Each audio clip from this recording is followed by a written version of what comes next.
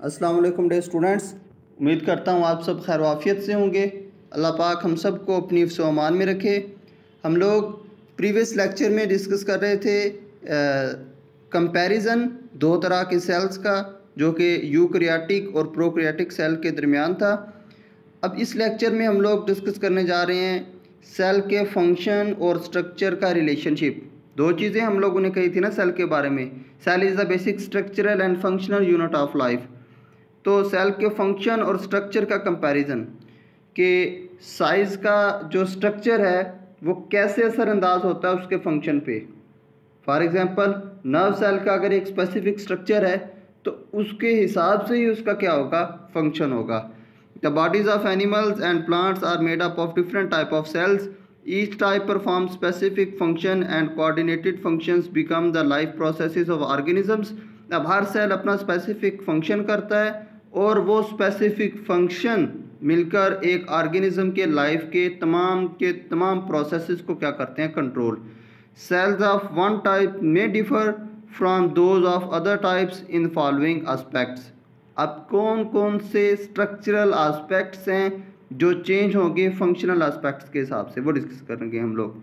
Size and shape अब cell का size और सेल की शेप कैसे उसके फ़ंक्शन के बारे में बता रही होगी?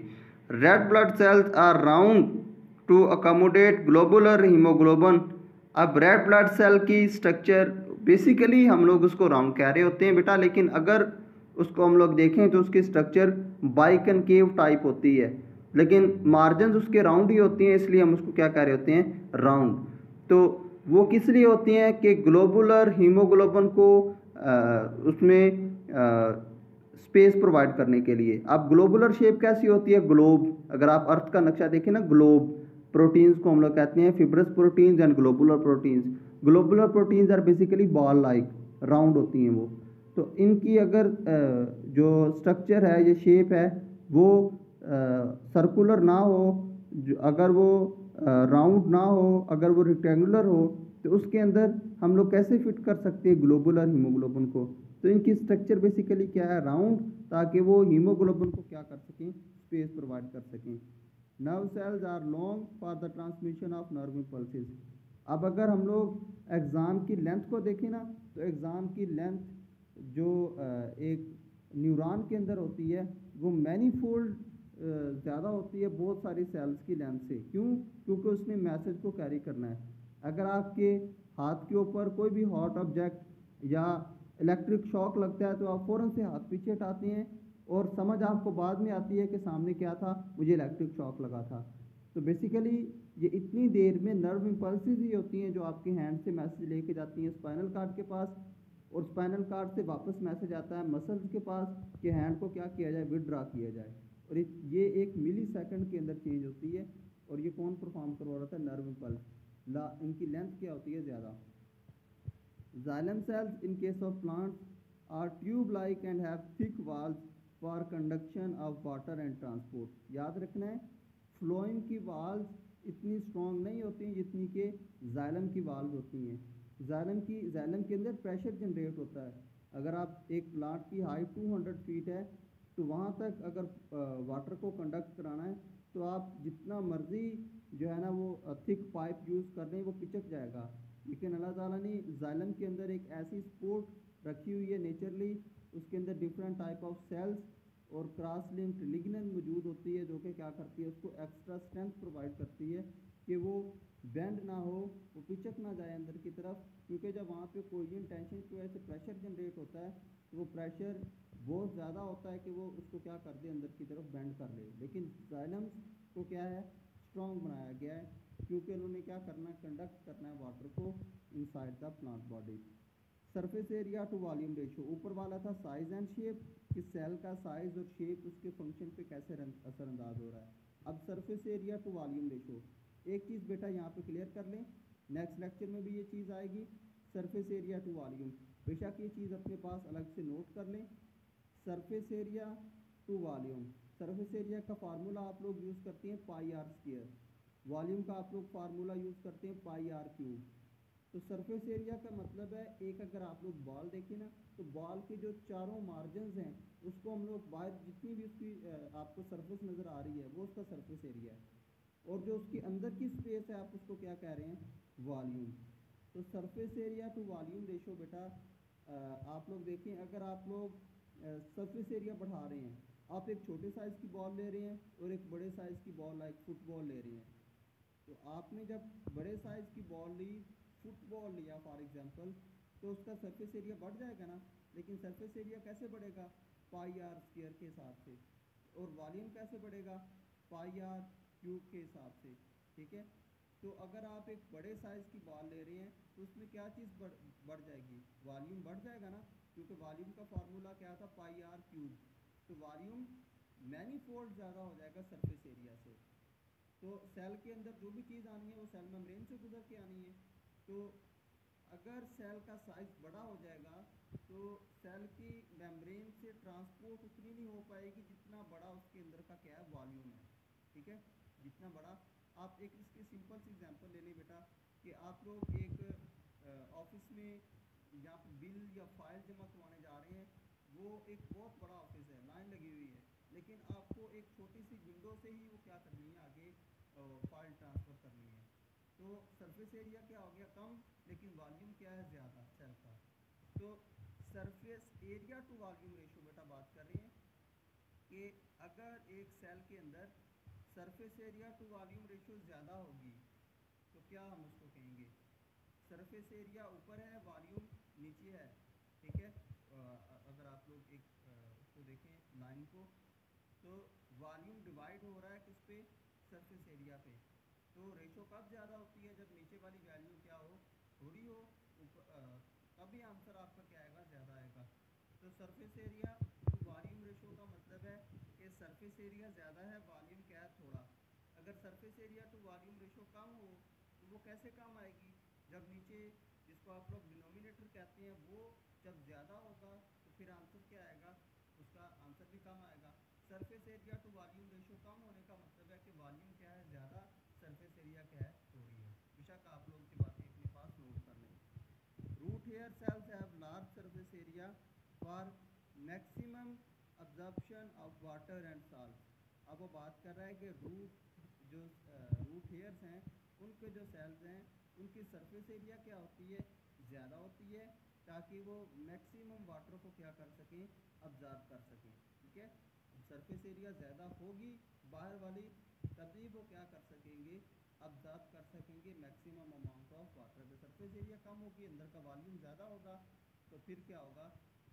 जो अब्जॉर्बशन होगी वो क्या होगी? मिनिमम यही हम लोग जो नीचे आपको हेडिंग नज़र आ रही है ना cell size and surface area to volume ratio तो इसके अंदर बेसिकली हम लोग यही चीज़ डिस्कस करने जा रहे हैं कि अगर एक आप लोग बड़े साइज़ का बॉक्स ले रहे हैं और अगर आप उसको छोटे छोटे बॉक्सेस में डिवाइड कर दें तो छोटे छोटे बॉक्सेस जो हैं, उनका सरफेस एरिया ज़्यादा होगा एज़ कंपेयर टू एक बड़ा अगर आप लोग बॉक्स यूज़ कर रहे हैं।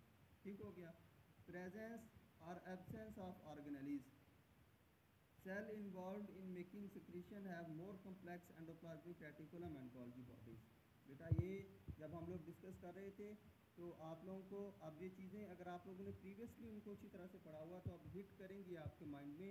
वहाँ पे मैंने बार बार बताया था गॉल्गी बॉडी में कि सेल से बाहर की जितनी भी सिक्रेशन होनी है, ठीक है, उसको क्या, किसने कंट्रोल करना है?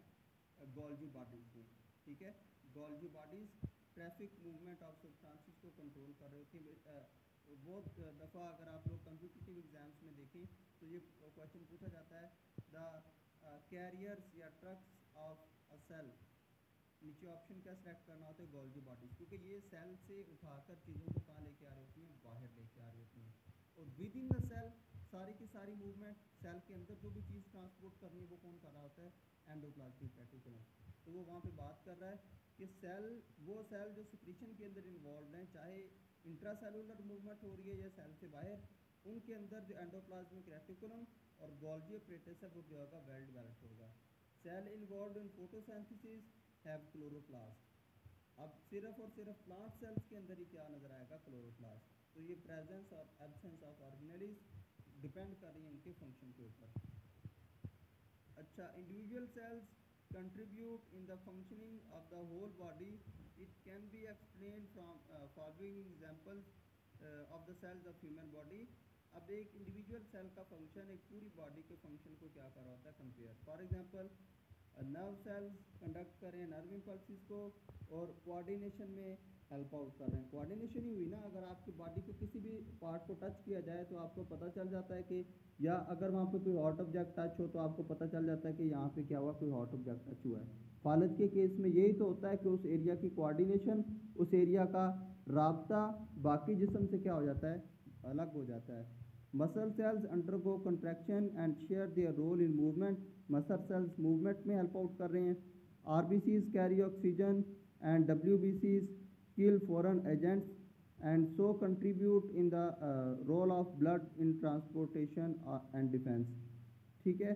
कि आर ऑक्सीजन को कैरी कर रहे हैं ऑक्सीजन नहीं होगी तो अल्टीमेटली क्या हो जाएगी? डेथ कोई भी सेल सर्वाइव नहीं कर सकता without oxygen in our body और वाइट ब्लड सेल डिफेंड कर रहे हैं against against foreign objects some skin cells act as physical barrier अब हमारी बॉडी में तीन तरह के बैरियर्स होते हैं अगर एक जर्म अटैक कर रहा है। सबसे पहला स्किन स्किन उसको रोकेगी, ठीक है? उसके बाद जो हमारी बॉडी में जो डिफेंस सिस्टम है डब्ल्यू बी सीज वो उसको रोकेंगे, ठीक है? और उसके बाद जो आएँगे, वो होंगे लिम्फोसाइट सेल्स थर्ड नंबर पे वो क्या करेंगे उसको सॉरी दूसरे नंबर पे आ जाएँगे मैक्रोफेजिस वाइट ब्लड सेल्स के अंदर। मैक्रोफेजिस क्या करते हैं? इंगल्फ कर लेते हैं। जो भी बाहर से फॉरन ऑब्जेक्ट या तो स्किन उसको रोक लेगी, अगर स्किन से बच जाएगा तो क्या कर लेंगे? मैक्रोफेजिस को इनगल्फ कर लेंगे। अगर मैक्रोफेजी से भी बच जाएगा तो third line of defence system that is very active वो होते हैं लिम्फोसाइट्स जो कि एंटीबॉडीज़ रिलीज़ करते हैं और एंटीबॉडीज़ उन जर्म्स को उठा के क्या करती हैं? सेल से बाहर फेंक देती हैं। ठीक है? और उसके बाद लास्ट पॉइंट है the cell of bone deposit calcium in their extra cellular spaces to make the bone tough and thus contribute to the supporting role of bones. अब बोन सेल्स अपने अंदर कैल्शियम बेसिकली बोन सेल्स का जो बाहर वाला matrix होता है, जिसको हम लोग स्ट्रॉन्ग बोन कह रहे होते हैं, वो कैल्शियम एंड फास्फेट दो चीज़ों के मिलने से बना होता है कैल्शियम फास्फेट से मैट्रिक्स तो बोन सेल्स अपने अंदर कैल्शियम को डिपॉजिट करती हैं ताकि उनका मैट्रिक्स क्या हो स्ट्रॉन्ग हो. और cell as an open system ये बेटा एक चार्ट क्वेश्चन भी है, इसको अंडरलाइन कर लें आप लोग। A cell work as an open system for example it take substances needed for it for its metabolic activities through its cell membrane open system है ना कि बाहर से अगर उसको कोई चीज़ चाहिए एक्टिविटीज़ के लिए तो प्रोटीन वगैरह तो वो बाहर से भी क्या कर सकता है, ले सकता है through cell membrane then it perform the metabolic process assigned to it अब हर तरह के सेल्स का मेटाबॉलिक वर्क डिफरेंट होगा। बॉडी में क्या होती है? डिवीज़न ऑफ़ लेबर हर सेल को काम दिया होता है, तुमने ये काम करना है, तुम्हारा ये काम है, ठीक है? तो वो फिर अपना स्पेसिफिक काम क्या करता है? टास्क परफॉर्म करता है। Products and by products are formed in metabolism अब बाई प्रोडक्ट्स क्या हैं? जो जिसकी ज़रूरत नहीं थी, वो एमी जो है ना रिएक्शन के दरमियान बन गए। और प्रोडक्ट्स क्या हैं? जो बेसिक हमें चाहिए थे, ठीक है? तो प्रोडक्ट और बाई प्रोडक्ट बनते जाएँगे। Cell either utilise the products to transport them to other cells, then byproducts are either stored or excreted out of cells. Products को तो यूज़ कर लिया जाएगा इनसाइड द सेल और जो बाई प्रोडक्ट्स हैं, या उनको रिलीज़ कर दिया जाएगा फ्रॉम बॉडी या उनको यूज़ कर लिया जाएगा इनसाइड द सेल तो ये था आज का लेक्चर उम्मीद करता हूँ आपको इसकी समझ आई होगी. थोड़ी सी डिटेल हम लोगों ने डिस्कस की. तो आप लोग इसको नोट डाउन कीजिएगा. ये चीज़ें आपके पास next again and again use होंगी. Thank you